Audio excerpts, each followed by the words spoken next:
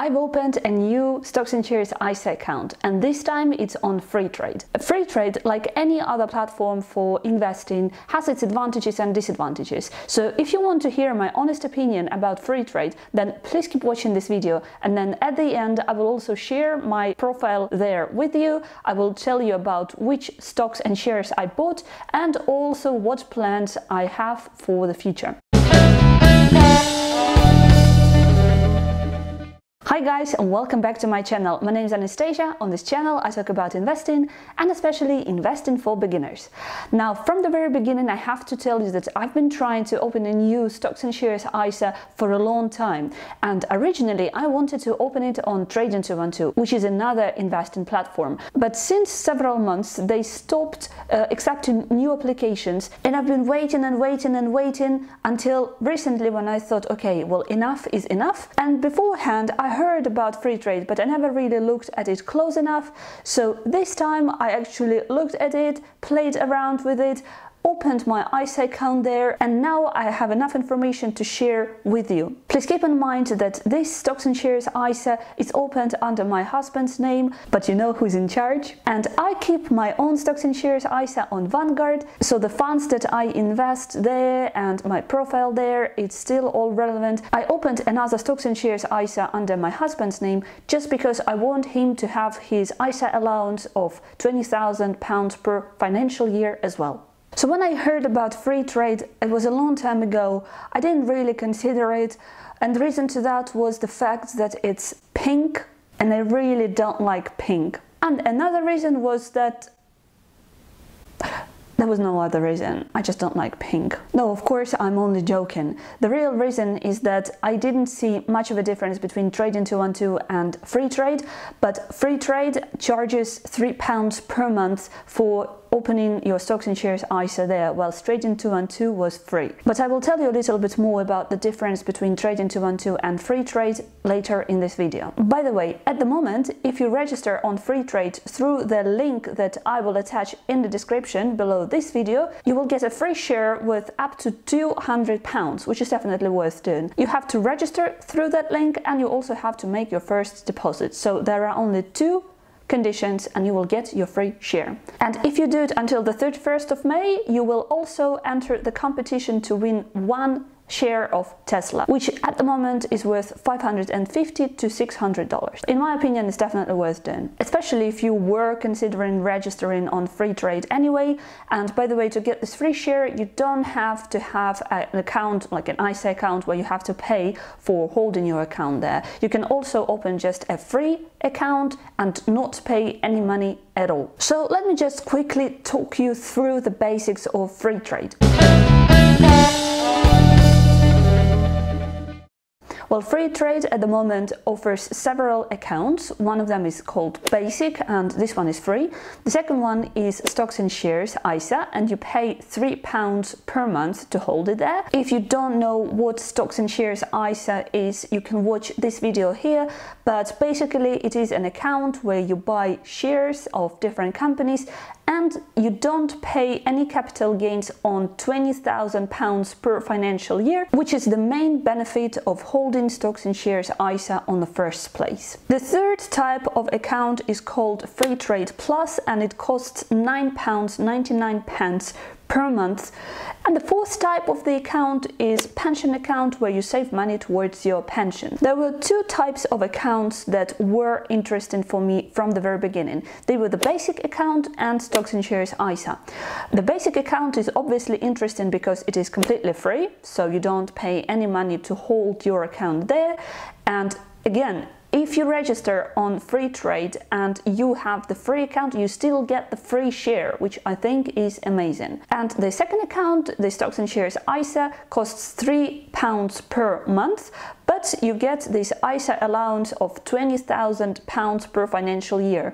I'm filming this video in 2021 in the UK because the rules might change and also for other countries it might not work. The Plus account that costs nearly £10 per month also sounds quite interesting because it has its own advantages. The main advantages are the 3% interest rate that you get on all cash that you hold in that account and also you have a bigger choice of stocks. Well, in my situation, I didn't need this account because, first of all, I don't see much point in holding your cash in an investment account. If you want to hold cash, you probably hold it in your bank, but obviously in the bank you don't get anywhere near 3% interest rate. So if you are, for example, scared of investing a lot of money into stocks and shares because you don't want to take a risk, then probably it makes sense to invest a larger sum straight away earning the percent 3% interest rate and then little by little little part of this cash that you hold there into stocks and shares. Well it's up to you. That's not my case because i don't like cash. I don't like holding cash. I don't hold any cash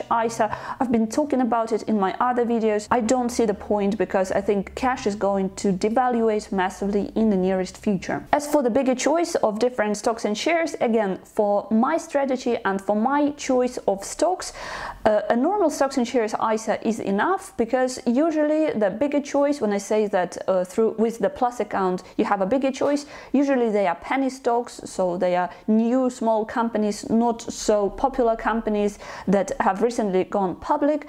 And I am not going to invest into these companies on free trade. My strategy is going to buy only blue chip companies like Apple Amazon you know the big and the most famous companies. All of them are available on free accounts and normal stocks and shares accounts.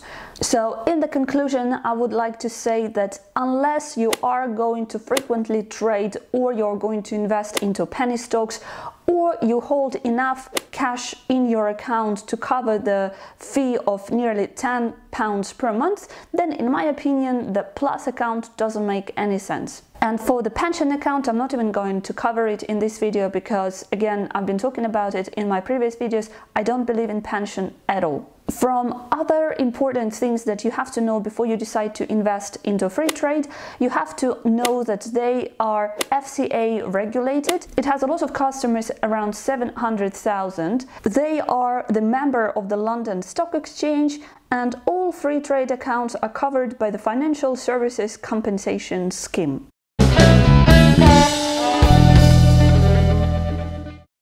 Now let's talk about the advantages of free trade.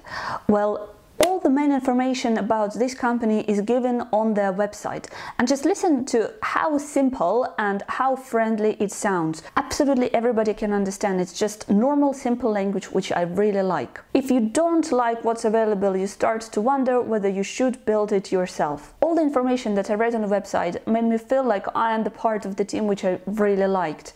Another advantage of free trade is their transparency and here I would like to tell you more about Trading 212 because on Trading 212 I also have an account. Uh, it's just a normal account, it's not an ISA account.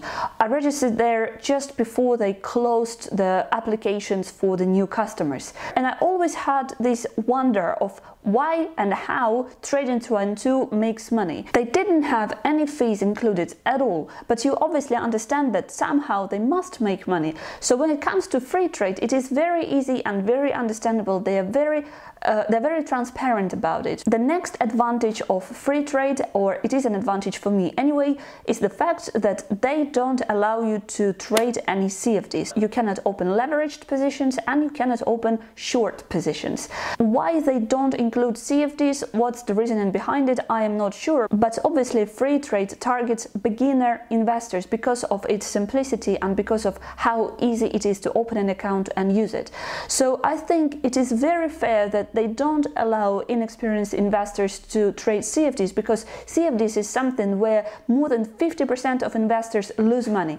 If you don't know what a CFD is, you can watch this video here. I made it several months ago, which explains you in details what a CFD position is. But basically what you have to know is that CFD is like a bet and CFD is a very, very highly risky investment tool. Well, here you go. I've just saved you at least 10 minutes watching that video. And if you didn't want to watch it you don't have time. If you appreciate this fact then please click the like button to this video. And also consider subscribing to my channel so that you don't miss my future videos that I'm going to record. Other platforms make a lot of money through offering people trading CFDs. So in my opinion, the fact that free trade doesn't allow people to trade CFDs means that they are cutting on their own profits, but at the same time, they are protecting their users because they understand the majority of them will be the beginner investors. Let's talk about fees. With free trade, there are no withdrawal fees, which is a great advantage. There are no deposit fees, but this is the case for the majority of the platforms. The bad news is that there is a fee of 0.45% every time you buy or sell stock in a different currency. So for example, if your account is in British pounds and you want to buy stock in dollars, in American dollars, for example, you want to buy uh, one share of Apple, then you have to pay 0.45 0.45% when you buy it and you have to pay 0.145% when you sell it. So on each and every stock in American dollars, you will lose at least 0.9% of the price of when you buy it and when you sell it. So keep that in mind. And by the way, this fee has to be paid by all customers. It doesn't matter which type of account you hold. On top of that, there is obviously a fee for holding your account and you cannot really avoid this fee. Uh, as I said, for stocks and shares ISA, it costs three pounds per month. For other accounts, it is nearly 10 pounds per month, but there is also an option to have a completely free account. So if you don't want to pay anything and you are not bothered about having 20k uh, financial year of free capital gains allowance, then you just have to open just a normal free account and don't pay anything for it.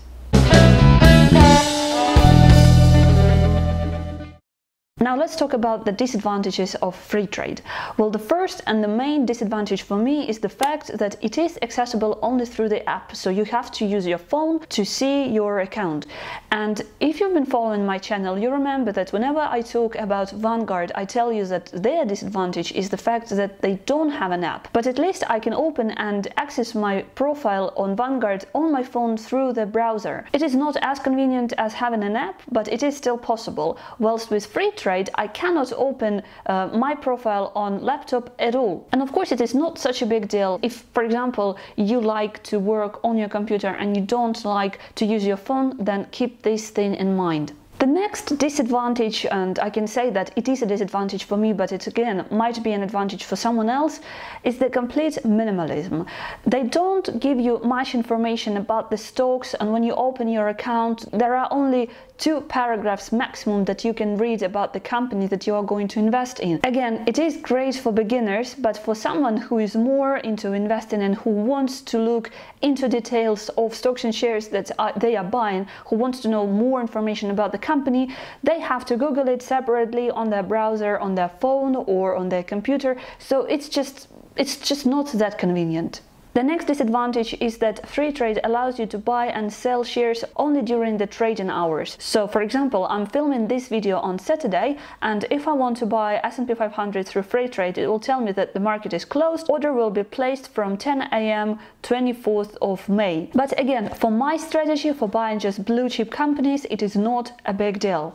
And the other disadvantage that I just find very confusing is the fact that when you buy shares, you can buy as many shares as you want and you have to put the amount of money that you want to invest into this company. So in my case, look at my screen, you see this sign of pound. So I can invest a certain amount of money and the system will automatically calculate how many shares I can buy for these pounds. Whilst if I want to sell a share, it is completely different. Then I cannot choose pounds, the amount of pounds, I have to choose the number of shares that I want to sell. So if I have 10 shares of Amazon, for example, and I want to release $3,000, I have to calculate myself how many shares I have to sell in order to get $3,000 worth of shares. It's just confusing and I don't understand why they did it. On eToro or Trading212, for example, you have both options. So you can tell the platform how many pounds you want to invest or how many shares you want to buy. Both options are possible. Here it is not the case. And the last disadvantage is obviously the color. Why choose pink? Really don't like pink. Strange.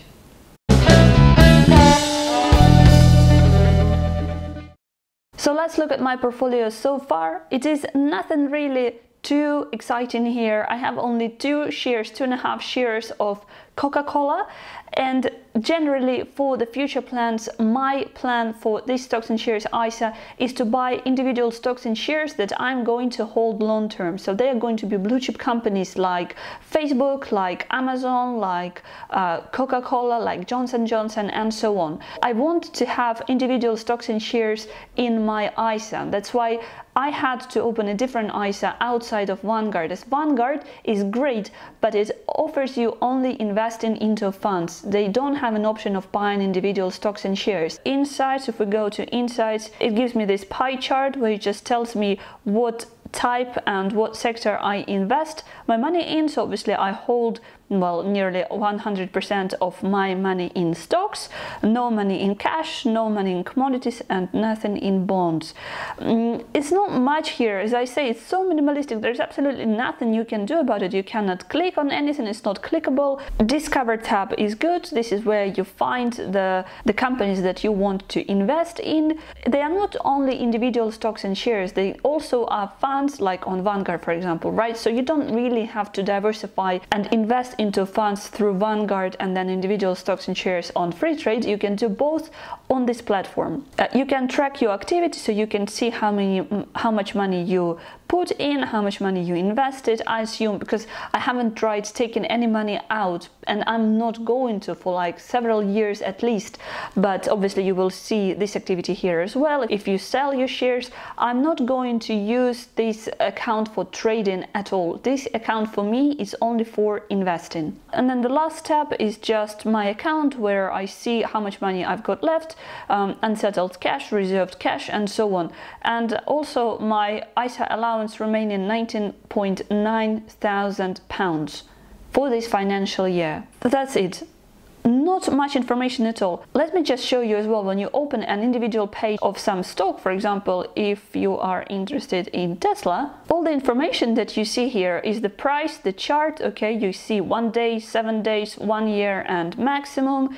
Um, you can buy it, you cannot sell it. You see the this option to sell it is not active because uh, short positions are not allowed. Then next information are some very basic stats and about. And look, in about section, as I said, you have literally one paragraph here and you see that the Tesla company is the part of tech, energy and cars sector absolutely nothing. Then some costs and charges uh, where you will see how much money you will have to pay.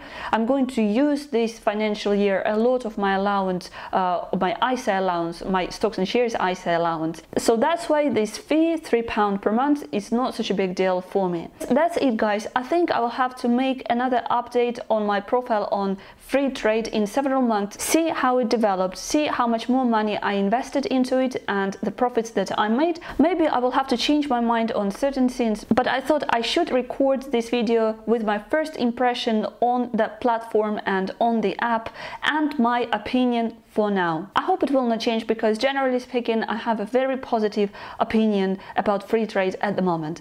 Thank you very much for watching this video. That's it from my side today. Bye bye. Can I take this horrible pink jumper off now?